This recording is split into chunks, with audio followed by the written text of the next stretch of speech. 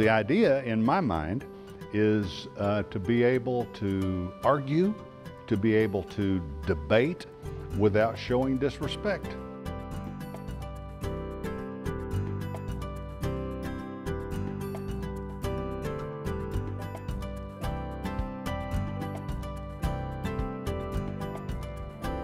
It makes absolutely no difference if all of us have great ideas, if we're not willing to stand up to represent those ideas to others, then we're not leaders.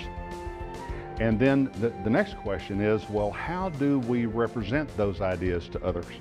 And, and the answer to that is by way of communicating.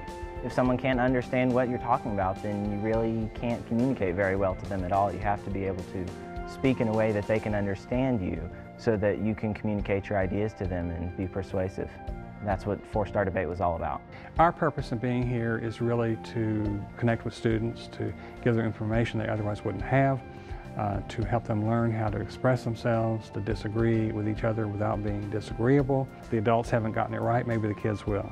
The four-star debate experience has by far been the most enriching debate camp I've ever attended, and I've attended five debate camps. Our argument was talking about a solution in general, any solution.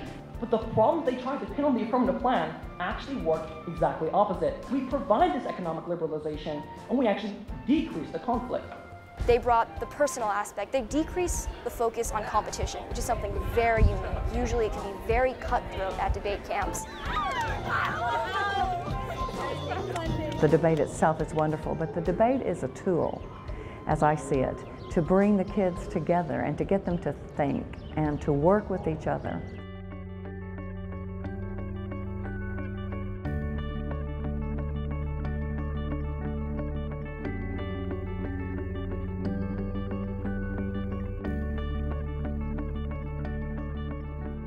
Four-star debate is really a unique opportunity for students to interact in a multicultural environment, for the students to come to the four-star debates and talk about the challenges and then how they as future leaders would address them, uh, I think is extremely important and it's something that uh, uh, is going to really, I think, contribute uh, to our society in general. Well, I think the program is really a nice combination um, of a debate experience where we're motivated by competition, but also by a refreshing sense of communication and leadership. And also, I think, giving us a real taste of the world and what our generation will be faced with.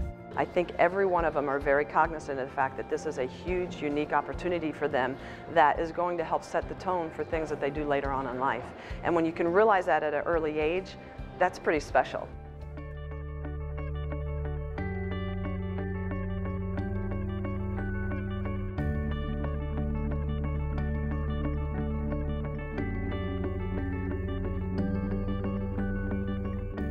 I am very concerned about the future of the world, and I know that uh, every day that uh, my generation has less and less impact on it, and their generation is going to have more and more impact on it. So the opportunity to come and talk to them and listen to them in the context of this event is really quite special. One of the values of King's Academy I think ties in perfectly to this program. It's globalism, which is connecting people from around the world and bringing them together in a peaceful place where we can just coexist and speak our own opinions and not be put down for them. You're not being told by one group, for example, that, oh, this is what, we what we think and this is what you guys should think. The people have spoke to us that just having them believe in you is, is just inspiring. It makes you want you want that change personally, and you want you want to go out into the world and see and do that change yourself. Well, the reason that we feel character is so important to teach in this four-star debate program is because it does impact all the other lessons that we are teaching them about teamwork and about leadership. I got a really different viewpoint from um, my Jordanian partner counterparts and um, it was a really great tournament overall. I learned a lot. Lab leaders were really amazing in getting us to know the affirmative and negative strategies. Those three days were stressful. We were writing cases, but it was a really great learning experience. And then the days we went sightseeing, it was a really eye-opening experience to go to Petra and Wadi Rum, the huge vast desert and all the sand, and watching the sunrise. It was just really relaxing and stress-free.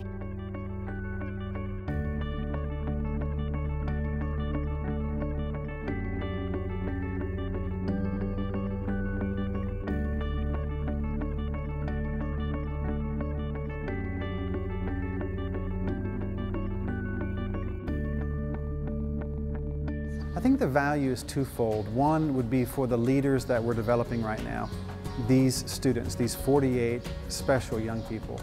But there's another value, and that is the large number of people watching what's happening. People are wanting leaders who have an answer to the complexity of our time, and they feel like these are the types of events that create the climate of change that is substantive and really lasting. It's a special opportunity to be reminded that need to keep working and providing opportunities because there's a generation coming along that's going to do a lot. And so our team supports this program financially because we think it's so important and does so much to build the future for our world, not just our nation, but the whole world. We're really pleased to be involved in supporting it, and I hope others will step up and provide the funds to allow this thing to grow to its potential. Well, I think what we're doing here is remarkable, to really liberate the kids uh, to solve problems. Uh, again, the adults haven't done such a good job, maybe the kids will. One of the characteristics of young people is intellectual malleability. The idea is to expose them to a great deal of information and let them form their own opinions.